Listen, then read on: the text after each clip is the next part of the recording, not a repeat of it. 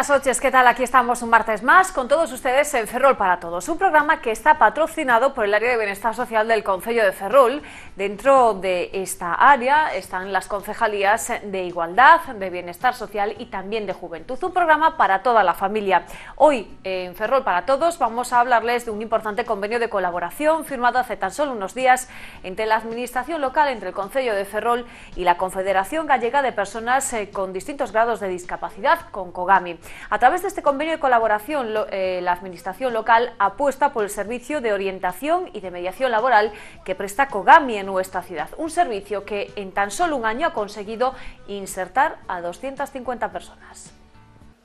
La Confederación Galega de Persoas con Discapacidade, COGAMI, es una entidad sin ánimo de lucro, declarada de utilidad pública y constituida por 53 asociaciones y delegaciones, que la convierten en la entidad más representativa de las personas con discapacidad en nuestra comunidad autónoma.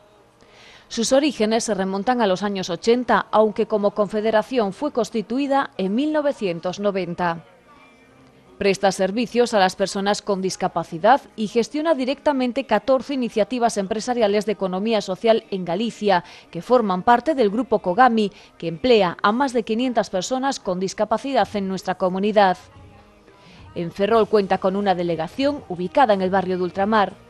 El importante trabajo que realiza esta entidad acaba de ser reconocido de nuevo por el Concello de Ferrol. La Administración local ha renovado el convenio de colaboración con Kogami para su servicio de mediación y orientación laboral. Para min, de verdad, é unha gran satisfacción poder asinar. Non? Dende logo, as múltiples eh, responsabilidades que ten un alcalde eh, con moitos problemas todos os días é necesario ser capaces de priorizar, de priorizar eh, actividades e de priorizar os fins. Non? E a verdade é que a atención ás persoas é a maior satisfacción que un alcalde nestos momentos eh, pode ter. Por eso, como ben sabe, Cogami eu eh, fun o primeiro en dar a cara para que os servicios sociais sigan sendo servicios de competencia municipal, El alcalde de Ferrol, José Manuel Revarela, manifestó que su gobierno seguirá blindando las políticas sociales como administración más cercana al ciudadano. A administración máis cercana ao cidadán é a que mellor atende as persoas. Eh, polo tanto, esta mesma semana se aprobou a lei que blinda as posibilidades do conce dos concellos de seguir destinando fondos públicos a políticas de benestar, porque existe unha lei nacional coa que discrepei e discrepo profundamente que iba a quitar os concellos as competencias na área do benestar. E a mellor maneira de demostrar que queremos seguir exercendo as políticas de benestar é asinar convenios de colaboración con entidades como Cogami. Rey Varela recordó que en el 2010 la administración local no tenía convenio con Kogami. Ahora, cuatro años después, la Confederación dispone de una ayuda de 9.000 euros, un 11% más que en el 2013 para su servicio de mediación laboral. E o primeiro que fixemos foi poñerlle un convenio e ir ascendendo ese convenio ata un importe que asinamos hoxe de 90.000 de 9.000 euros, perdón, eh, cun incremento dun 11% con respecto ao ano anterior, que permite, como xa dixo Ramón, colaborar con esta entidade para o mantemento do centro de intermediación. Se o emprego é a principal preocupación, ou debera de ser a principal preocupación dos representantes públicos, moito máis o emprego para as persoas que teñen diversidade funcional, que son precisamente as que inserta COGAMI.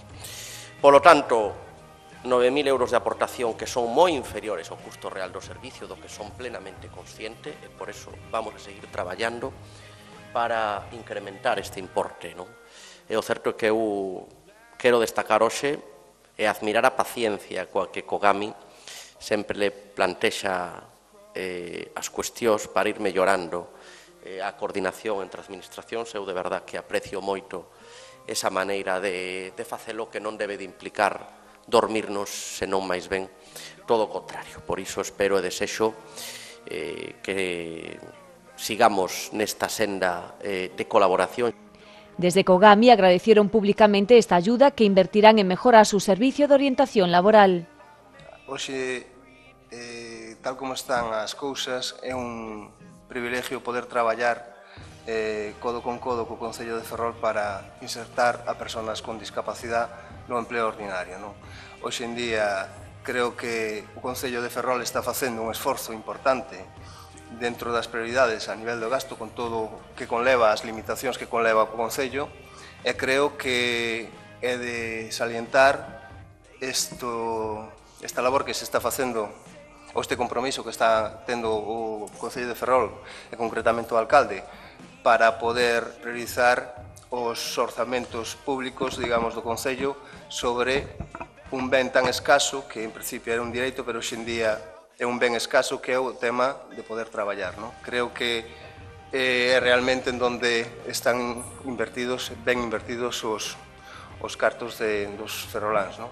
A través deste servicio, Cogami conseguiu en un año insertar a máis de 250 personas con discapacidade. Quero destacar eh, pois catro razóns importantes, concretamente no que firmamos a través do Servicio de Intermediación Laboral que a, eh, de Ferrol, concretamente que viñeron 170 novos usuarios ao Servicio de Integración Laboral, xestionamos 142 ofertas de emprego das distintas empresas de Ferrol e creo que o máis importante, creo que é fundamental este dato que vou a dar, insertamos a 250 persoas en empresa ordinaria nun ano. Creo que este dato fala por si sí solo. Non? Reiterar eh, que isto vai sigue, priorizaron desde o Concello este, esta, esta prioridade con respecto a seguir apostando polo Servicio de Intermediación Laboral de Kogami para este ano, entonces eu simplemente darlle as gracias ao Concello e ao Alcalde e a Rosa, que sempre nos están dispostos a atendernos. Kogami nos recuerda cuáles son sus principales objetivos. Conseguir la plena inclusión de las personas con discapacidad. Defensa y promoción de los derechos de los discapacitados. Reivindicación del cambio social potenciación del asociacionismo, prestación de servicios que satisfagan sus necesidades. Desde el Concello de Ferrol recuerdan que este año ha aumentado el número de entidades sociales que reciben una subvención nominal, como Dignidad y la Asociación de Padres de Niños con Parálisis Cerebral. En este ejercicio también se incrementan las ayudas a Erguete y ADRA y se destinan 10.000 euros a actividades de formación e integración programadas por la Asociación Nuestra Señora de Chamorro y de una asociación, en, esta ocasión una confederación como es a una asociación que desarrolla un importante trabajo de ayuda a las familias más necesitadas, no solamente de Ferrol, sino también de toda la comarca. Les hablamos de la ONG Dios y Pan, que ha estrenado un nuevo local. A partir de ahora, su sede está en la calle Álvaro de Sotomayor, en el barrio de Recimil. Con ilusión emprende la ONG Dios y Pan su trabajo en el nuevo local cedido por el área de patrimonio del Concello de Ferrol. Su sede ahora está en la calle Álvaro de Sotomayor, en el barrio de Recimil, donde cada voluntario aporta su granito de arena, algunos ayudando en el ropero, otros con el reparto de alimento y otros donando cuadros, como el pintor Galdo. Esta ONG también cumple años 17, ni más ni menos, un acto que no quiso perderse ni el alcalde de Ferrol, José Manuel Rivarela, ni tampoco la concejala de Bienestar Social, Rosa Martínez. Todos los días estrenamos nuevas instalaciones porque todos los días estamos con ganas de hacer. Lo que pido aquí ahora mismo es a los ferrolanos que colaboren un poquito más, que se esfuercen un poquito más, porque no tenemos los socios que quisiéramos. Queríamos tener el doble de socios y podíamos hacer más, aunque tenemos proyectos, pero en fin.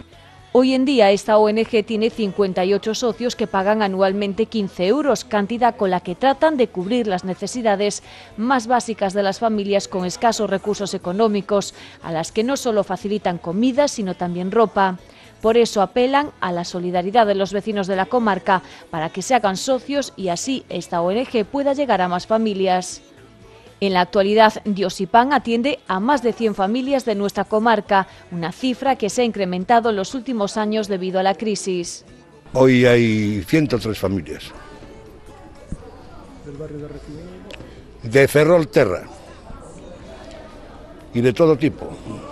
Aquí Lo importante para nosotros es el, voy a decirlo así, el necesitado vergonzante, que no se atreve a pedir socorro en ningún sitio. Entonces, lo apoyamos aquí, escuchamos voces, alimentamos bocas y dando vacíos, llenando vacíos, muchos vacíos.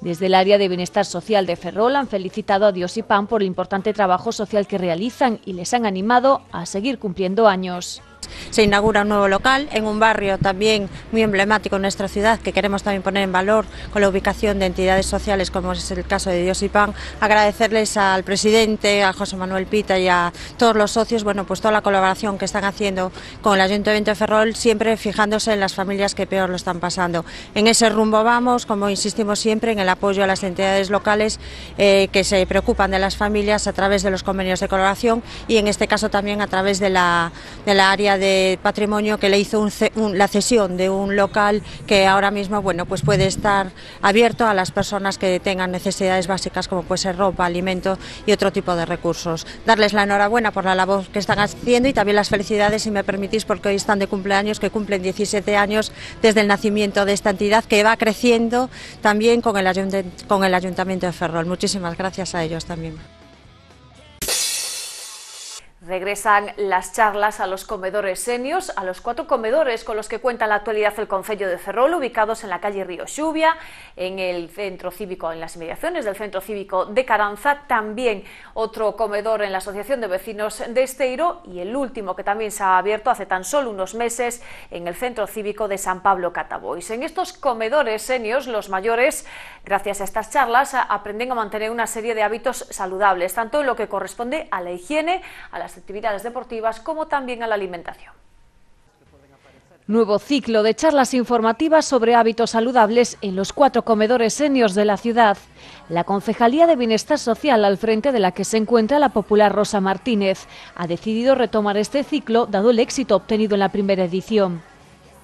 Así de nuevo, un enfermero residente especialista en enfermería familiar y comunitaria se encargará de impartir estas charlas en los cuatro comedores senios con los que cuenta por ahora la ciudad y que están en la calle Río Xubia, en Caranza, en el local de la Asociación de Vecinos de Esteiro y también en el Centro Cívico de San Pablo Catabois. Y esto gracias al convenio de colaboración firmado el año pasado entre el Concello de Ferrol y el Sergas para que estos futuros profesionales puedan hacer prácticas en los distintos departamentos del área de bienestar social. Estamos con el convenio con el Sergas y tenemos nuevamente a un nuevo alumno, en este caso a una chica, a una enfermera que está haciendo la rotación en el área de bienestar social y bueno, por demanda también del técnico que lleva, pues todos los comedores senior que tenemos en nuestra ciudad, los cuatro, pues veía conveniente el volver a hacer unas charlas informativas, talleres informativos sobre hábitos saludables.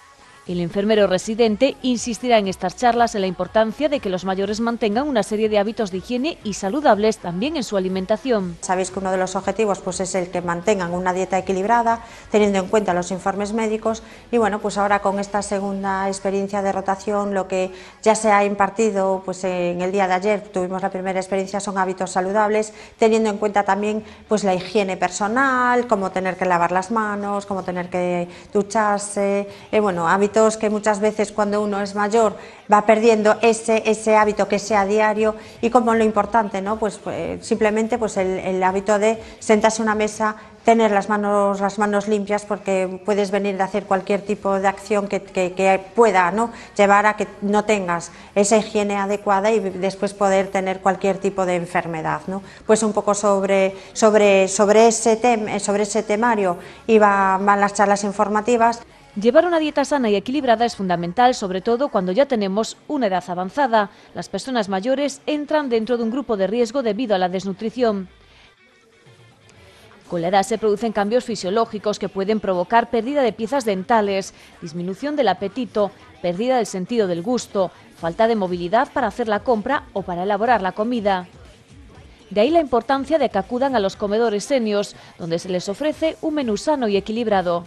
Se seguirá hablando de la alimentación y de lo importante que es seguir esa alimentación equilibrada que les garantizamos en los comedores, que lo sigan en sus hogares, que estos hábitos de higiene y hábitos saludables también los mantengan no solo en un comedor porque haya alguien que esté un poco encima de ellos y les quiera corregir algún hábito que no sea saludable, pero que también lo hagan en su vida diaria, en el resto del día. Y bueno, como, como suele pasar, cualquier tipo de preguntas que las personas mayores eh, están siempre abiertas, que vean cuando tienen presencia de un enfermero una enfermera, les preguntan cosas muy particulares como la tensión, la diabetes y de hecho, bueno, pues siempre la colaboración por parte de estos estudiantes de enfermería que ya van, ¿no? Pues con sus utensilios y ya hacen, bueno, pues un control de la tensión y les, y les orientan un poco también sobre esas enfermedades tan típicas de las edades avanzadas, sobre qué hábitos más particulares cada uno de ellos tienen que seguir el número de usuarios de los comedores senios ha ido creciendo poco a poco, sobre todo en las últimas instalaciones que han abierto tanto en Esteiro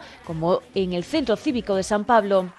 Desde el área de bienestar social recuerdan que las altas en los comedores pueden realizarse en cualquier momento y recuerdan que el objetivo de este servicio es no solo facilitar una alimentación adecuada y equilibrada conforme a las necesidades de las personas mayores, sino también fomentar un espacio de relación y vínculos de amistad, evitando así la soledad. Que tanto el de Esteiro y el de San Pablo, que son los últimos que se pusieron a finales del año pasado en funcionamiento, bueno, pues el objetivo se está alcanzando. Como teníamos pensado, de manera muy paulatina, bueno, pues se están dando altas prácticamente todos los meses a usuarios. Hay solicitudes, pues prácticamente cada 15 días de una o dos personas y bueno, se hace, se tienen que agrupar un poco las solicitudes. Eh, pues precisamente en el día de hoy, pues he firmado a primeras horas de la mañana altas, eh, dos altas en el de San Pablo y uno en el, en el de Esteiro. Creo que están entre 10 y 12 personas eh, el de San Pablo y también entre 9 y 10 el de Esteiro, con nuevas solicitudes que ya están en curso, por lo cual, bueno, estamos cerca de, de llegar a los 60 usuarios dentro de los, de los cuatro comedores un número bastante importante y desde aquí, si me permitís, bueno, pues hacer ese llamamiento que cualquier persona mayor que cumpla los requisitos de ser ciudadana de Ferrol y que esté interesado en tener una convivencia con personas de su edad y poder socializar, ya que muchos de ellos están viviendo solos, o si no también matrimonios o amigos que estén conviviendo conjuntamente se pueden acercar a ver un poco la experiencia en situ en los comedores o incluso bueno, pues venir aquí a hacer cualquier tipo de pregunta porque quedan plazas vacías. Hasta aquí llegó nuestro Ferrol para Todos de hoy. Ya saben que pueden volver a ver este programa en www.tvferrol.es, en nuestra página web, en el canal de YouTube apartado Programas Ferrol para Todos. Disfruten de la semana, sean muy felices y nos vemos el próximo martes. Buenas noches.